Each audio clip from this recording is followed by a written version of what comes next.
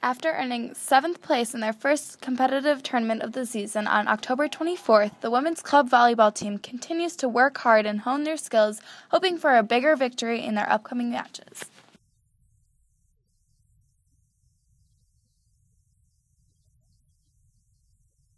As the team approaches their first home tournament, the girls are looking forward to having support from family and friends on the sidelines. Sophomore setter Michaela Myers shares her aspirations for the rest of the season.